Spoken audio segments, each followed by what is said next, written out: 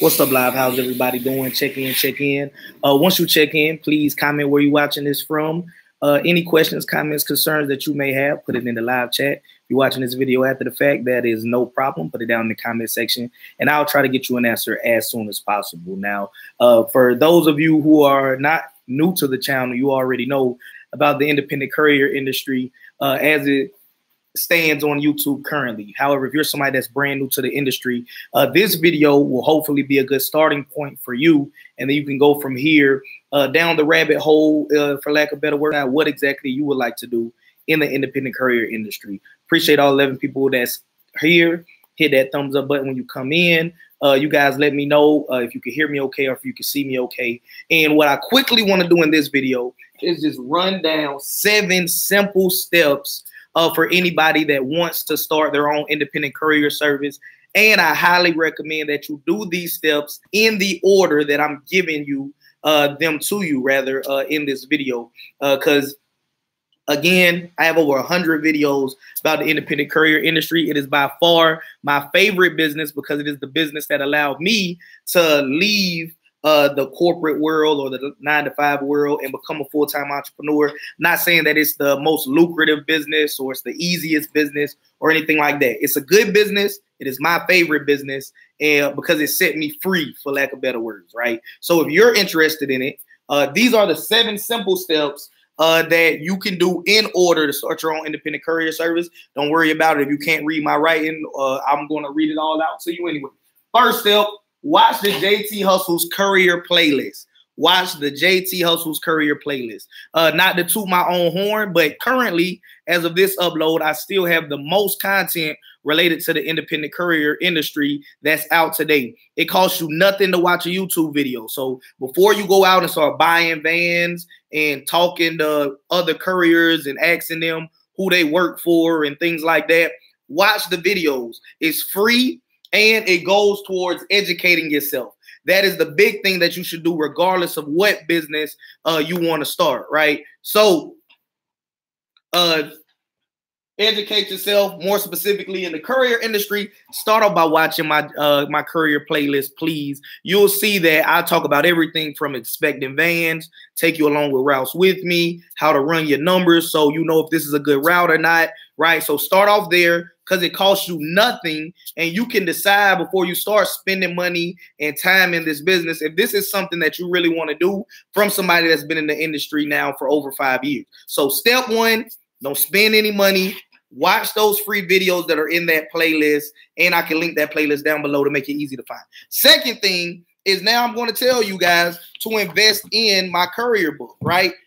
You could call it selfish plug or whatever, but it's called the Drive to Freedom, the Hustler's Guide to Becoming an Independent Courier. Now, the reason why I'm telling you to buy the book, even though you're going to learn a lot of information from the free videos, is because what I get all the time is people say that they watched all the videos, they know what to do, but then they forgot something and they'll say, Well, what video did you talk about uh examining whether or not this is a good route? What video did you talk about if you could do this if you were felon or not? Right. So I currently have over 600 videos total. So uh, it, it's hard for me to tell you exactly what video uh, I said something. But what you can do if you have the book, it's a short read and you can highlight it uh, I'm the king of highlighters, so you can highlight or bookmark it however you want to be with little tabs that you can get from the dollar store. So if you want to mark the section where I explain to you, you know, um, can felons do this? Is there any workaround for felons? How do I examine the route uh, when they tell me a number? How do I run my numbers so I can determine or estimate what my profitability will be on this route? So uh, while you can do it, or a lot of people have said that they've done it with the free YouTube videos, now it takes time. You got to remember what video it is. You got to fast forward to the part. And to me, I even use the book, right? And I know the information, but sometimes with all the other businesses that I have going on, I still say, you know, uh, I'm going to reference my book uh, to see exactly you know what I mean? For this area, what's the type of gas? All of the things like that. Because uh, there's certain information in there that if you're doing a lot of different businesses, sometimes basic stuff that you learn fundamentally might just slip your mind. So I'm telling you, somebody that's been in the industry, and yeah, I know this stuff, but sometimes you could just uh, not be thinking about it in the moment if you got a lot of stuff going on. So the Drive to Freedom is available on Amazon. I'm gonna drop the link in the live chat for those of you that are interested, and basically use this as a reference guide. So of course, read it all the way through one time. It's gonna be short read. People have said they read this book in a day, so it really just depends on how fast you read. Uh, but uh, don't just read the book just to say I went through the book and read it. Uh, parts that you know that are important, uh, highlight it. Use those little cheap uh, tabs. Put it in the book so you can reference it. So if you're ever in a situation where a new opportunity uh, presents itself and you're not sure what you should think about or take into account, then the book is a good reference guide for you for that. Uh, so that's going to be uh, something else that I'm going to plug as well. Second thing though, so now you educated yourself.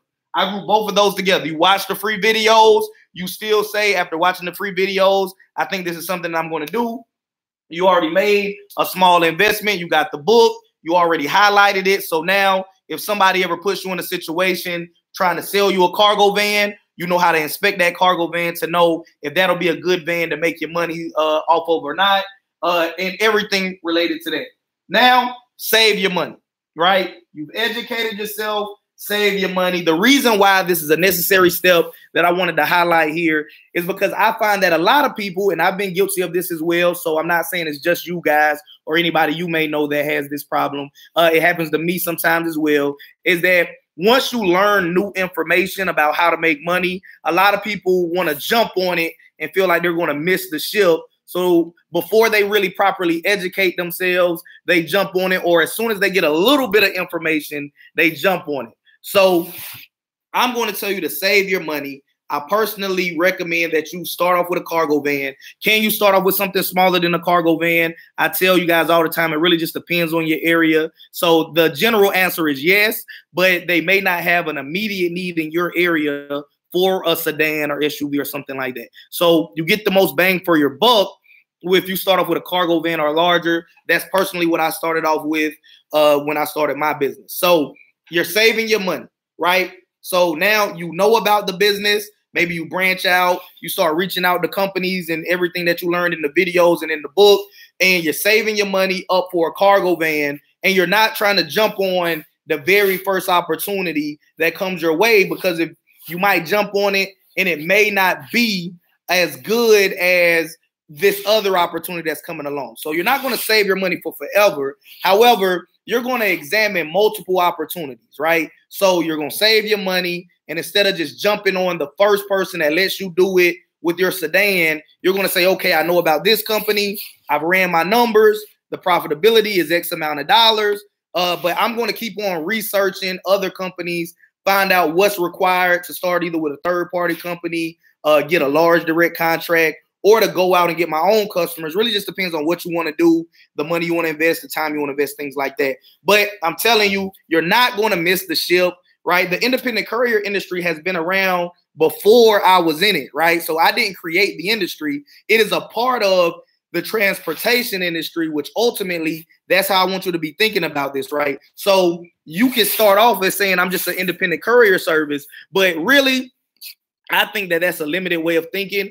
Think of yourself as a transportation company that currently specializes in independent courier services, right? I know that's a mouthful, but the mentality that I have is that, right? So you're a transportation company that specializes in, in independent courier services. If you think about it that way, then you could be a trifecta like my business is, where we do independent courier work, we do expediting work, we do moving work, right? The transportation business uh, has a side of it that doesn't even involve you being behind the steering wheel. So maybe you want to talk about becoming a dispatcher, a freight broker, whatever it is within the industry, right? So your company can do all of that. So don't think that, hey, I'm going to be an independent courier and this is all that I'm going to do uh, because you can choose to be that. But I'm all about multiple streams of income. So I want you to think of yourself as a transportation company. Transportation company can be a freight brokerage company, a dispatching company. You can have cargo vans, box trucks, semi trailers, dualies, tow trucks, whatever you want to have, right?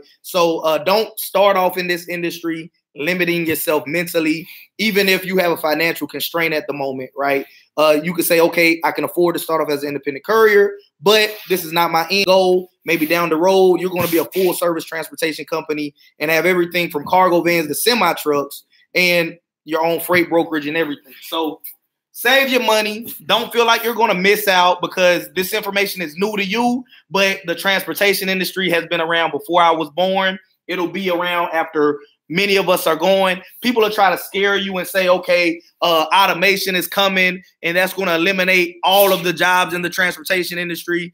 I think that it will change the industry. And I think in a lot of different ways, uh, depending on how it ultimately turns out, because there's different discussions on it, it might ultimately uh, better the industry more so than hurt the industry. Because you got to think about it. Uh, I'm not here telling you to go get a job right, as an independent courier driver for a company. I'm telling you to start your own independent courier service or your own transportation business that specializes in, in independent courier service now, and you spend and you expand out to do whatever it is that you decide to do down the road, right? So that being said, when companies partner with other companies because you might not understand it yet, but you are your own company when you get into this game. But if you coming from an employee mentality and that's all you know, you might still be thinking that you're an employee, but you're going to learn real quick when you get out here, you're not. So when these companies are contracting you, they're not just trying to get a warm body to move the freight to point A to point B. They're also outsourcing that headache. So even if automated vehicles come into play, if they get all automated vehicles, and eliminate all contractors, owner operators, whatever you want to call it, they're taking back on that headache that they previously had outsourced. So even if that's where the industry is going, you got to understand that the value that you provide is not just that you're a warm body in a seat, because anybody, well, most people rather, most people can be a warm body in a seat. What you're selling them on is your efficiency to do it, and you're taking away a headache. So you're giving somebody peace of mind. If, if you have tunnel vision again, uh, you're not going to be successful long term in any business. So think wide when you think about your business. I'm not just a warm body that can take a mail bag from a warehouse to a post office, right? That's one aspect of the of the service that I provide you. Uh, and this is just the mentality that I have, and I want you to adopt as well. However, I'm providing you an efficient service to alleviate a headache. Because if I don't do it and you get employees to do it, then now you got to deal with everything that comes with an employee. If I don't do it and you get an automated vehicle to do it, then you still have to worry about there's insurance on that automated vehicle. Somebody has to maintain that automated vehicle.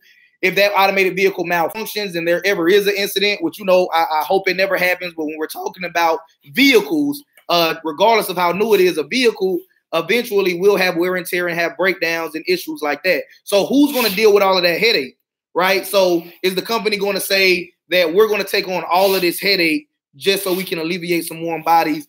Small companies may, but then down the road, you'll see that they turn around and go right back into hiring contractors. You might be and I don't know exactly what the future may hold. Of course, we all hear the discussions.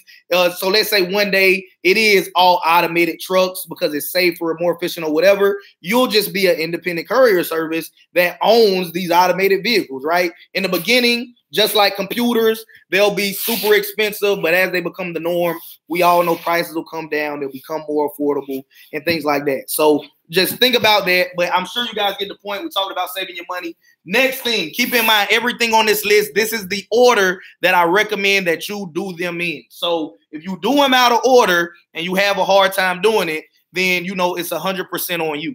So educate yourself, watch the JT Hustlez Courier playlist so you understand what you're about to get your time and money involved in. If after you watch the free videos and haven't spent a dime, you still want to get into this business, invest in the drive to freedom. The link to it is in the live chat already. Uh, and this is going to be your reference guide. So if you're ever on the spot meeting with a company or on your way to meet with a company and you want to know, okay, they're saying that they're going to give me this area and the route pays $1,400 a week.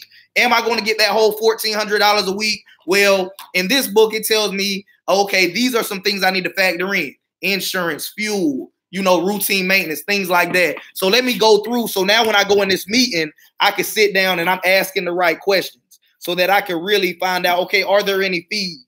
What do those fees go to? Right. And now they said $1,400 a week, But when you get down to the nitty gritty, as we call it, you say, okay, uh, I'm really only making 650, 700, 800, whatever the math is, once you deduct all of your expenses, right? So now that is your realistic number per week. And you got to ask yourself, am I happy with 800 a week, right? They said 1400, but after fuel and everything, it's 800 okay, what bills do I have at the house and what other financial uh, obligations do I have? Is working for myself, making $800 a week, going to accomplish that? If the answer is no, okay, thank you for your time. This route is not for me. I'm going to find something else. Maybe it's a route that pays the same amount, but there's less fees, or maybe there's a better paying route, right? So then after that, you're saving your money. You're not jumping on the first thing that comes your way. You're going to look for the best opportunity for your business, right? You're not looking for the first opportunity, you're looking for the best opportunity for your business. Next up, you're going to get a route, right? I know some people are going to say this is backwards, but those people that have seen the videos and have the book know the why I say get a route because I haven't told you to get a van, a truck, or anything yet, right? If you do it the way that I explain, you find a route, you negotiate the terms. They're probably going to list how much it pays, but you're still going to have a conversation with them because what a lot of companies do to save time because they're very busy, they might say uh, JT Hustle's courier company has routes for uh, minivans, cargo vans, box trucks, sprinters, paying between eight hundred to two thousand dollars a week, right?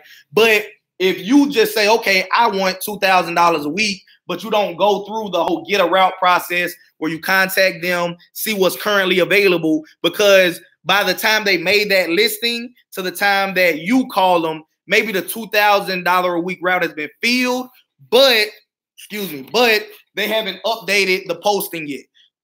But if you reach out to the company, they'll tell you that. Or maybe the 2000 a week route is for the sprinters and the box trucks. You can't afford that. The listing said they have contracts for everything. You say, okay, I got a minivan or a sedan. I want to make $2,000 a week, not understanding that they're saying that, you know, for the 2000 a week, they want you to have the bigger equipment. You can't afford it. So now realistically, you got to run your numbers based off of whatever you can do with a minivan sedan or whatever that they're soliciting work for from your company. So you find that out. You I, I show you guys how to find different ways uh, that they post these routes. I recommend you start off with third party warranty companies. Uh, if you're new, third party warranty companies uh, called 3PLs, commonly third party logistics companies, whatever you want to call them. I tell you to start off with them so you can learn the industry. Uh, whether you're a brand new entrepreneur, of course, it's a no brainer. You should start off there. But even if you do have entrepreneurial experience doing something else, I tell you to start off here if this is new to you, because that way you don't have to go all in, if you know what I mean. What I mean by all in is that if you go direct with the post office, you might get paid net 30, net 45, something like that. And you might have to have the operating capital to work two months out of your own pocket. You might have to have enough infrastructure. By infrastructure, I mean warehouses, uh, personnel, vehicles, security, uh, to be able to operate that entire time before the checks start running in. So I personally recommend that you start off with third party companies. You get your feet wet. You say, okay, I like this. Now, do I want to invest more money to get the big contracts? Because it might take, you know, I'm gonna just make up numbers here. So don't say this is exactly what it's gonna take. It, it might take you fifteen thousand dollars in two and a half months of time if you say you want a direct contract. Now that direct contract might pay you hundreds of thousands of dollars a year, but your first check is going to be two and a half months late, and in that time, it's going to take you five five figures just to float before the checks start coming in. So that's the kind of stuff that people aren't really telling you enough about. So I want to make sure I emphasize that here in my area, right? So you get around, you search for them online, you talk to the people, you know, based off of either the equipment you have or the equipment that you're willing to get. That if I do go out and I buy that cargo van, or if I buy that sprinter, or if, if even if you don't got a car, if I go buy that car, uh, the profit on that car every week will be X amount of dollars uh, for my business. My personal expenses are this. Am I happy with that situation? Yes or no? There is no right or wrong answer. It really just depends on what makes you happy and what's your financial situation. And then and only then, I highly recommend you get the proper equipment. You do it this way, you get a route, and you're not, when I say get a route, they're not going to sign you on for the contract, there's going to get a point in the conversation where you can tell that, okay, they got a feel for me. I got a feel for them. The profit is good. They're ready for me to come in, show them my vehicle and sign. And that's what I mean by get a route. And then you go out, you have the means to, or you already have it, depending on what you're starting off with. Go get that equipment, go start your route. If you do these in the reverse order, like a lot of people do, and then they come to me and say, JT, I did it in the reverse order. Can you fix it? I'm like, I really don't know because I told you what order to do it in, but you did it in your order. So now you got to just figure it out. They'll get the equipment, then they can't find any work for it. And now they're frustrated because they got to pay insurance on that vehicle, uh, or maybe uh, the insurance is not that bad on it, but they kicked out a few thousand dollars for it and now they want to start making some of that money back. Or even worse, I never recommend that you start off with a vehicle that you're making payments on and got to finance. But now every month you got to make that vehicle payment and that insurance payment, and it's not making any money for you. So now you're taking money away from your job or other business or wherever it's coming from to fund this asset that's not producing anything for you. So again, I recommend you do this in this order. You get a route, then you get an equipment, don't try to flip it and do it the other way because then a lot of people reach out to me. I'm sure I got some DMs about it now. I haven't checked them yet, but it's almost a daily basis. Somebody said I went out, I bought a truck, I bought a sprinter, I bought a cargo van. Now what I'm going to do, right? And now, uh, especially those people that are under the gun and saying, you know, this is my last option, and uh, I desperately need to find a route. So do it this way. Moving on. You get you get the proper equipment. Always let the company that you're going to contract with decide what you need. Don't ask me, right? Or don't ask anybody, right? Uh, because I can tell you cargo vans, you're gonna get a job pretty much anywhere across the board, right? That's why I recommend you start with cargo vans. However, if you don't already own a cargo van, still let them be the ones that that tell you that. Because if you're financially in a situation where you say, I can afford a cargo van, a sprinter, or a box truck, uh, it doesn't really matter. And they say, okay, we'll give you double the money if you don't mind getting a sprinter. Then okay, right? So it I, it's less expensive to maintain a cargo van than a sprinter or a box truck. But I don't know your financial situation. So if you're in a good financial situation, then you might want to start off with something bigger and make more money. Or if you're partnering with multiple people, then it might make more sense that way. So always, always let whoever is going to pay you tell you what they're going to pay you for, right? I'm not the one that's giving you the route and telling you how much I'm going to pay you. That company is. So let them be the one that tell you if you get this, we'll pay you this. So that way you know going into it what you're going to make. But I personally love cargo vans, made a lot of money with them. But if you you don't own one already, let them tell you. And if they give you an, a list of options and they pretty much say whatever, uh, we'll put you to work with whatever, then cargo van gonna get you the most bang for your buck you're not going to make as much as the Sprinter or the box truck early on, but you can always upgrade to that later and uh, let the business pay for that. And it's cheaper to maintain a cargo van than it is to maintain anything with a diesel engine. Um, next up, start the route, learn the business, right? No brainer. So now you educated yourself, you saved up your money, you found a route that made sense uh, based off of the time that you want to do it in and the amount of money you want to make. And keep in mind, this may not happen instantly. It might take you months to find a route that you like, right? Now, if you hustling and you really need to go get something, of course, you're to take what you can get, but still continue to look. And then it might take you months to find the route that you really want. So early on, if you don't have any income stream at all, then you might say, okay, I got to take this route. It's going to help me pay the bills. I'm going to be all right. Uh, but keep looking and find the route that makes the most sense for you right? But understand that this might not happen in one day.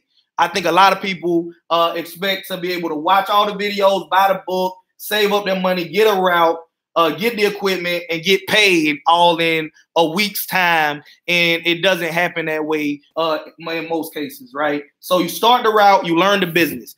And my recommendation is one year. I know different people learn at a different pace. So one year to me is a conservative worst case scenario, how long it takes the average person to pretty much be competent enough to expand this business. In one year's time, you're going to deal with insurance, you're going to deal with breakdowns, You're going to deal with different companies. Uh, hopefully, if you follow my advice and learn, you know what what's involved with these companies, maybe you start testing the waters with direct contracts and bigger contracts. But you're just going to get a year of experience on OJT, if you will, and you're making money working for yourself. And now a lot of independent couriers, they decide that they don't want the extra headache of employees and other equipments or other contractors with their own equipment or whatever comes with getting larger contracts. And they say, I'm happy making X amount of dollars a year. And they decide to be one man, one woman operations for forever. I'm here to tell you there's nothing wrong with that. There's nothing to be ashamed of. And by giving yourself time to deal with everything in taxes as well, don't want to live that off. One year's time, you'll understand how to file taxes as a business, which may be new to you uh, if you've never done it before. But going back to what I'm saying, one year's time, you know the business. Now you can say, okay, a year ago, I was gun ho. I wanted to come jump in and get big mail contracts and the biggest contracts in the world. But now that I actually see what it takes, how much money, how much time, how much headache is involved. I'm happy with making my little money right here as a one man, one woman operation, maybe a two person operation, whatever you decide makes sense for you. So you can do it in less than a year. I did it in less than a year. I know other people that have done it in less than a year, but I'm not telling you that you have to do it in less than a year. I think that in one year's time, you will have enough experiences go on in your business that at that time you can make a competent decision on if you want to stay a one person operation or expand. Moving on, this is assuming that you like it after that one year to the point where you want to expand. I tell you to expand at your own rate. What I mean by at your own rate is whatever your business profits can afford you, uh, can uh, allow you to do, or you can afford to do because of the business. That's how you expand. So let's say that you got a courier business and an e-commerce business and a part-time job, right? You just doing everything. Or you just got a job and doing the courier business around that because you found out a way to make it work in your area, which is not always common, but I know some people uh, up north that were able to do it. So anyway, if your business, your courier business, does not pay enough money to allow it to, to grow and sustain itself, I recommend that you just work on making that business better so that you're not pulling money from another business or another income stream, your job, real estate investments, whatever you have, and dumping it into it. Now, the first year, you may have to do that, but after that first year, that business should start to be self sustaining, right? So, or, you know, worst case scenario, what a lot of people will say, and it's just worst case scenario for me, if you are going to pull money from your real estate or from your job, make your business like hold your business accountable, just the courier service, to pay back that money with interest, right? Pay back that money with interest. And if you can get that money from another income stream of your from yourself, then why not give it the same respect as if you got that money from the bank, right? I don't recommend you going to the bank to expand the business if the business profits aren't already there enough to show you that hey, this business is growing, it can pay for itself plus some, give you some profits right? So, but if it's some people that do it, and that's why I'm, I'm talking about it now. So, if you could pull money from other resources, whether it's your job, your real estate, whatever you have, pay that money back to yourself with interest. Because the bank, if the bank gave you that money, they'll make you pay that money back with interest. But ideally, you should have it so that that business funds itself, right? Because that business could be failing, but you're making so much money somewhere else you keep dumping money into a failing business. And if you mix all your money together, which is not something that I recommend, but at the end of the day, people don't listen to, to you know, what I have to say. And again, you're not obligated to, it's your own business. But if you're pooling all that money together, I recommend you have separate bank accounts, separate LLCs, separate EIN numbers. But some people put all of that money in one account. So you're not even noticing that your courier business not putting that much money in it is coming from over here. So you might not even recognize that your business is not doing well. But if you separate everything and you only expand based off of uh how well your courier business is doing, it's gonna fo- it's gonna force you to become a better business owner because you're gonna figure out, okay, why are we not profitable enough for me to buy another van or to buy another truck, right?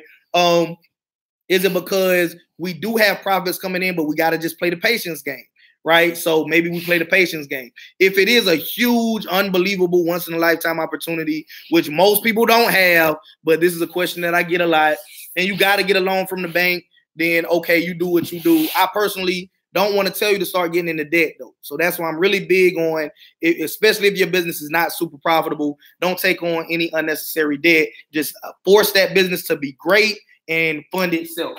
So let the business fund its own growth, whether it be okay, now I can afford another van. Now I have enough money to pay for me to get my freight brokerage license or training, or go whatever direction you take your transportation company in. Because again, you're not limited to just being an independent courier company. You're a transportation company who right now specializes in independent courier services, but that's not all you can be. You can do whatever it is you want to do. Don't let anybody tell you that you can't branch out or do anything like that. So, and the last thing that I have here is automate and diversify.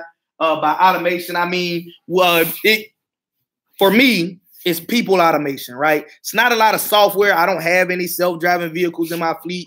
So it's uh getting a good fleet manager, getting good workers, not trying to pay them the bare minimum, pay them a fair compensation for a fair day's work. I really believe in that. Uh, I've tried it both ways. I know some people out there will say I can get away with getting my, my friend or my cousin or somebody that's on hard times minimum wage but then you you get what you give right so if you uh you might get a low quality person that's to give you more headache than they're worth if you're trying to, to squeeze every dollar uh, out of them as possible and work them to death so automation is usually through personnel uh, when you you got to put people in place to run it, and you can uh, register with different companies out there if you want to automate the payroll and stuff like that. That's no problem.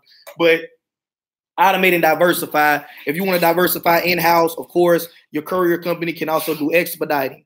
Uh, it can also be a moving company if you're going to invest in that. Uh, it can also be freight brokerage, right? It can also save up, get a warehouse, do warehousing services, right? You can, there's a whole host of things that fall into the logistics industry, the transportation industry that you can so choose to do. If you want to diversify outside of the industry, which is personally what I've done, and I'm not saying one way is better over the other, really just depends on what you want to do.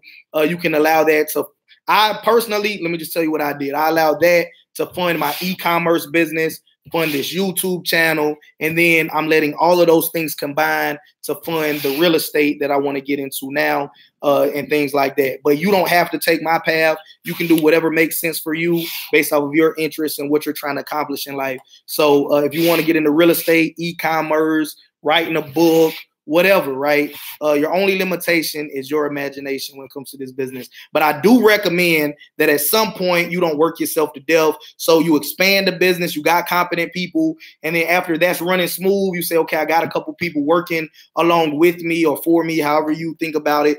And now you're ready to automate it, put some competent people in place. When automated, I'm not saying set it and forget it either. Now, still check on it because uh what gets measured gets done is a popular quote that you probably heard before. So I recommend that you stay on top of it and you don't just say, okay, do this and I'll check on you in a month or two months, or I'll check on you whenever. Right. So uh trying to see who's just pulling up, but I think they're for the business next door. But um anyway, long story short, I recommend you do get to the point where you start diversifying, letting your courier service pay for its own expansion, other directions you want to go in your transportation industry. If you say I'm just happy being a, a one person independent courier operation, but you're making good profits with it, then let that fund whatever other business you want to do. Or even if you're somebody that says, I don't want to have a lot of businesses, JT, uh, maybe you just want to invest in stocks or whatever it is that you like to do. But there you have it. Seven steps in order that I recommend that you do them in order to have a successful independent courier service. Educate yourself, save your money, get a route, get proper equipment, start the route and learn the business, expand at your own rate, meaning let the business fund the expansion. Uh, so that way you're not dumping money into a failing business. Last but not least, automate and diversify your business. I'm all about multiple streams of income. Uh, so if one well dries up, then you can always go to the next one and on and on and build your empire, right? So right now, I'm going to add a couple of links. Uh, I'm putting my book link in there uh, for you guys again for the people that just tuned in. And Also, for those of you that don't know, I am doing phone consultations again. So if you want to do a phone consultation, let me put that here. And if you're watching this video after the fact, it'll be the exact same stuff uh, down in the description of this video as well. And I can't spell today. Okay. So if you want to do a phone consultation, that's the link for that service as well. Um, do you have to do it? Uh, people say, do I have to do it? You don't have to do anything, but it's just a service for those people that are interested in it, right? So that's what it is. I'm gonna run through these comments and I'm gonna let you guys go. Uh, shout out to MBNCT Side Hustle Sanctuary. Uh, shout out to TV Jump Shot, Angel Girl, Pin Mo. Uh, shout out to all 59 people that's watching this. Hit that thumbs up button. Comment where you're watching this from. Any general questions you got about the independent courier industry? Uh, I know for those people that have been tuning in for a while, you probably already know this stuff. But for the benefit of anybody that may be new, or if there's still any unanswered questions, we'll run through them, and then I'm gonna get out of here. Let me see. Um, what's good, fam? What's up, BK from the Rockies? Great information. Appreciate that. Definitely ordering the book. Appreciate that. Shout out to California. See California.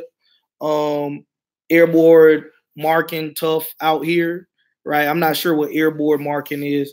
Um, unless that's the name of a, a, a, company, right? Um, agreed, having the right equipment or vehicle helps to open up other financial options. Absolutely. Uh, I just went to my local post office. Supervisors not familiar with independent contractors picking up packages in the Baltimore, Maryland, Central Avenue, right? Because because that's not their job, right? Their job is to run their individual terminal. You, uh, if you go in there, then if you want to start and work with one individual post office, you're going to be a rural courier which is basically the same thing as a postman or a postwoman, but you use your own vehicle and you get a little bit more than somebody that wears the outfit and drive one of the, the work trucks, right? So it's not their job to know about the entire network. Um, usually the postmaster will know about it, right? Uh, or you go to the USPS uh, .gov website to read up about it. But an individual post office, they have so much stuff going on, especially if you're in a major city. Uh, they don't know about it and they have no interest in finding out for you because they just too busy. So individual post offices, yeah, they manager is just focused on running their post office as good as possible. So if you just want one post office, that's more of a rural courier, a rural courier. Uh, when looking at equipment, how best to make that decision, type mileage, engine size. I always say let the business decide right? Let the business decide. I love the the Savana GMC cargo vans, right? But that's personal preference. It's not saying that it's any better than if you go out and get a Mercedes Sprinter, or it's any better than the E250 or the E350 or the Dodge Ram 1500, which was my very first cargo van, right? So I always say let the person that's paying you decide uh, what what they'll give you the most money for or give you the money that you need to make for, right? But personally, I like cargo vans. Um, I had E150s and 1500s. Uh, they don't work as well, in my opinion. So if you're gonna get a 250 or a 2500, 3500 is great, but of course they cost a little bit more. So if you can get a 250 or a 2500 uh, model, uh, it, it's something that I think lasts a little bit longer for me. But ultimately, I always say let who's gonna cut the check tell you uh, exactly, you know, I mean, uh, what they will pay you for, right? Um, right. Keep posting questions. All right, yeah, definitely, definitely. Any questions you guys have, run through it right now. Um, JT, I have some stuff you need. JT, I have some stuff you need to also think about with what you're teaching will go along with everything you're doing. Please get up with me. What is it, K9 Eagle? Put it in the chat, whatever it is um, great information. So uh, that way we all can decide. Shout out to all 64 people that's here. Hit that thumbs up button. Uh, what is a good price for a cargo van, and what is the lowest you would go, or what do you recommend? Uh, I recommend that you don't spend over five thousand dollars. Well, but then I also preface that and let you know that I've only operated this business up and down the East Coast. So we've been up, killed it in Delaware, uh, up near Jersey area, way up north, all the way down to as far as Florida, right? So, um, but I, I was primarily headquartered around the Maryland area and now around the Carolinas, right? So, uh, if you live out west or if you live on the west coast, then uh, excuse me, I'm not sure what cargo vans cost in your area. So uh, maybe five thousand dollars won't get you a decent cargo van. Maybe you got to go up a little bit more. But in my experience, again, just in the regions that I ran, under five thousand dollars. I've got good vans for twenty two hundred dollars, right? Thirty five hundred dollars. But I would say five thousand or less should get you a good running van. Uh, but you guys can let me know. I'm sure I got some people from out west and other places. Uh, it, what what do cargo vans go for? I recommend you get a used one. Don't go get a new one and and pay a note every single uh, month if you're new in the business because now you signed up for that multi-year commitment lots of times and you don't even know if you're gonna like the business long enough to be in it that long. Uh, while you can do multiple things with a cargo van, uh, if you get out of the cargo van uh, or the independent courier industry and want to do something else with that van, it may be a learning curve meaning that there's an amount of time where you're in the business, but you're not efficiently running the business because there's a lot of things you just don't know yet. And in that time, your income may drop. But if your income drops, but that payment don't drop, it can put you in a financial hardship at that time. So I personally recommend five thousand dollars or less uh, if you can. Uh, I would say under 160,000 miles because it's not uncommon for you to put 30, 40, 50,000 or more miles on a cargo van the first year. And uh, once you get over 200,000 miles, um, it really comes down to how it's maintained, right? I know some people that say they got 300, 400. Uh, the most I've ever seen is 600,000 miles on a van. But that gentleman had the van since it was under 200,000 miles. So he knows how it was maintained. And he knows that even though the mileage is high, it, it, pretty much was a new van with all the the maintenance that he did on it. So I would say if you get something that's been well maintained with under 150 160,000 miles, then you can go a year or two with minimal maintenance. You're still gonna have to do oil changes, maybe a set of brakes, set of tires, routine stuff like that is unavoidable. And what it don't matter if you get a new van or not, you're still gonna have to do oil changes and, and, and routine maintenance on it. Uh, so I would say something like that uh, expecting that, that it's going to cross over 200,000 miles. And uh, if you can squeeze two two good years of hustling out of one van, uh, then I think that's good because you made so much money. You can either go buy another van just like it and squeeze out two more, or maybe now you're in position to say, I can go get a nicer, uh, newer van and, and let this old van pay for the new. Right? I'm all about letting the business pay for itself or fund its its own expansion. I don't have Facebook right? Um, let me see. Right. If, if you if you're a business owner and you don't have all the major social media platforms, you shooting yourself in the foot. Your customers are there, so you should be there. You don't have to have a personal account where you share how your kids and family is doing, but you should at a bare minimum have a business presence on all social media. Uh, and that goes for everybody, right? If your customers are there and you're trying to reach them, you should be there. Uh, talking about a B2B business, which is the independent courier service, most of your customers are other businesses. So also consider having a LinkedIn account uh, for your business as well, because it's not too many individuals out there uh, that are looking for an independent courier service to provide them services on a regular basis, right? Uh, but once you go into diversifying and doing other things, then you might find other opportunities for you in that. Um, let me see. All right, we touched on that, touched on that. Shout out to Alabama. Shout out to Jersey. Shout out to Columbia, South Carolina. Uh, right, buying that laundromat would be great YouTube content. Yep, dope. Um, still, still talking about that. It might work out, might not. We'll just see what happens with the whoever owns it. Right. Uh, we'll see if they're willing to negotiate on it, and we'll go from there. Um, what does on-demand courier mean? Does that mean they'll call you only when they need you? Yes. Yes. So I recommend that you get um at least one route because with route work, you kind of have like steady income coming in and you can budget off of that. You know, every week you'll have this much money. So uh, when you're going to get an apartment or a mortgage, you know how much money you have coming in. Uh, lots of times, what attracts people for on demand work, let's say I have you go from one side of town to the other side of town on on demand work, I might give you $60 for that trip. On a regular route, I might only give you 35 $40 for that same trip. But on the route, I'm gonna give you $35, $40 every single day. At $60, I might give you that every other week, right? So on demand couriers, yeah. Uh, they also call it hot shotting as well. They just as they need you, they they use you. Right. Checking in, been interested in courier work for a year now.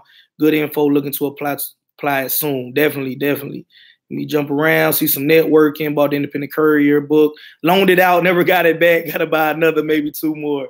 So yeah, man, each one teach one, man. Appreciate that. Uh, shout out from Texas. Also, I'm a uh, put this here so you guys can see what the. If you go to Amazon, search for JT Hustlez, you'll see it. It's also linked, uh, so you can just click the link in the chat. But that's what the book cover looks like. Just me and my daughter. So that's the right book. And uh, if you're interested, shout out from Texas, home of the Astros. Um, all right, thanks for giving out so much knowledge. Cool. Uh, let me see where we at with it. I appreciate you dropping that link in there, BK from the Rockies to the teachable course uh, for the other businesses. If you guys want to learn about that, right? Uh, what about the auto auction? Um, I don't know if that's a question to me or to somebody else, but um, if you're talking about buying stuff for the auto auction, I would say it's not bad. Um, if you are somebody that knows about vehicles, if not, take somebody with you that knows about vehicles uh, and make sure that uh, you are getting a good ride, not just a, a vehicle that rides good that day, but actually a good ride. So somebody that can do a thorough inspection uh, of the vehicle. If you yourself uh, don't know how to properly inspect the vehicle, make sure everything is in decent running order before you buy it. Um, thank you for sharing. No problem. See a few under 140,000, still new to the cargo vans. Yeah, yeah, because it's people out here running with 200, 300,000 miles. I just recommend that if you could find one with under 140, 100, 150,000 miles on it, and it's been well maintained, uh, a year or two is conservative. You can ride that thing for many moons, and it can pay for itself 10 times over. And that one vehicle can fund trucks and other vehicles and things like that. That's personally what I did with a 98 Dodge Ram 1500 cargo van. We rolled that to to the wheels for, fell off for that one, but it funded me getting like four other vans. Well, you know, it funded one van and then those two funded the other ones, but basically it funded four other cargo vans, box trucks, right, on and on. Uh, and then that industry or my business funded what I'm doing now, right? So definitely, uh, it, it was a blessing to me. Let me see. Exactly 5K is my max. I want to spend on a cargo van. Yep. Yep, I would say, uh, and you can find something less than that. Uh, Craigslist, an auction, like the person mentioned, if you know about cars, any you any used car salesman uh, that you trust in your area, Facebook Marketplace, right? The list can go on and on on different places to check out. Uh, looked out and got one from a carpet company for eighteen hundred dollars. Yeah, that's dope. If it's businesses in your area like that, Yep, I know U-Haul at a certain time. U-Haul gets rid of their old trucks. Uh, sometimes they have pickup trucks and cargo vans there. If you're a local U-Haul or wherever rental place has vans, you could talk to them about when do they sell their old vans and where do they post it online or how do they put the word out for you to go get it on that. Um, all right. How do you get started delivering packages for the post office? Right. Uh, there's there's two ways to do it. The the most practical way is you start off with a third party logistics company. Uh, you learn the business, you save up your money, you learn about the how the post office uh, is is managing that third party company that's giving you uh, an opportunity to run for them, and then you transition over. So you're going to learn pretty much in your area how they manage that 3PL that, that you're working for. That's the most practical way. The other way is you can try to go direct through the SAM website, which it was uh, fedbizops.gov, but they put the word out that they're consolidating all of that to sam.gov. You can try to go to sam.gov and apply. Uh, it's super competitive. It's a good chance that if you're inexperienced, uh, you're not going to be able to put in a proper bid, or you're not going to have the proper equipment or the finances to do it, right? But I'm going to tell you that answer too, because uh, I'm sure it's at least one person that'll see this video that that wants to know that answer as well. But um, that's not the most practical way to get into it um, for most people. Let me see where we left off. Um, cool. Look like some networking going on. Some companies out by me want the van to be 05 or newer, so I should have a van next month. Absolutely. And those that's things like that, Jason Phillips, that you'll find out um, if you get a route before you get the proper equipment. Because you might say, I got a good deal on a 90 something van, but then you find out all the companies in your area wanted to be a 05 or newer. So now you either got to go try to sell them a 98 is just as good as a 05 or newer. And it may or may not work. It really just depends on the company and who you're talking to and how good you are in negotiating, right? Or uh, you could just do it this way, find out you need a 05, find the best deal for something that's 05 or newer, and that's one less hurdle you got to cross. Um, let me see. Yep, yep. Networking going on, jumping around. Thanks for your time and advice. What would you recommend uh be your first goal as far as work and or contracts when you're ready to drive and got your cargo van. Uh, I'm in Alabama. Third party warrant, third party logistics companies, right? I almost said warranty companies. I'm thinking about Mike, but they're logistics companies, 3PLs, third party logistics companies. They they solicit work for independent couriers all the time. I got a whole videos on this channel with over 100,000 views telling you how you could go check Craigslist, which is just one of many resources to go see uh, if in your area um, they need work. Um, let me see. Thanks for answering my question. No problem. Uh, doubtless link, please, brother JT. All right, give me one second. We'll drop that for you guys as well. And I appreciate everybody that's tuning in uh, to these live streams. I know uh, some people will say, I mean, they, they like more these courier videos. So I'm going to periodically, you know, just touch on it uh, and answer any unanswered questions you have or just remind some people, right? Uh, so see all 62 people that's here. Comment where you're watching this from. Any questions if you're just now tuning in and know what we're talking about. I just gave you the seven basic steps in order this is the order that you should do it in, in, in my humble opinion, if you want to be successful in it, right? So the order that you should do it in to have the least friction in your independent courier service and have the maximum amount of success. So if you have any uh, general questions about it, now is the time to put it. If you catch this video after the fact, put it down uh, below and I'll get you an answer as soon as possible. Uh, as soon as possible, excuse me. Um, let me see. All right. Um, right? What about discharging debt, right? What I tie, tie that into the independent courier industry for me, and we'll and I'll give you an answer on that.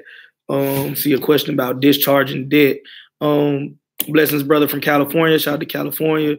Uh, shout out to Atlanta. I'm doing my route right now as I'm listening to you on YouTube. Shout out to you, Charles Bass. Uh, uh, law, law now, or laws.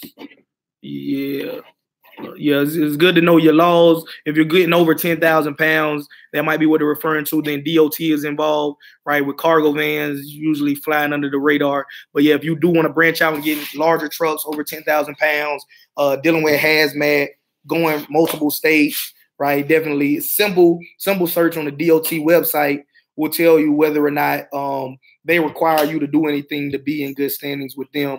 Um, so absolutely easy to find that out. Uh, but I'm telling you, if you're a cargo van, you're fine. What's up, JT? What's up, William Whittle? Shout out to Harrisburg, Pennsylvania. Right. So uh link for the shoes will be down in the description below as well. Appreciate you guys' time. And until next time, so all my hustlers stay hustling. JT Hustlez. I'm gone.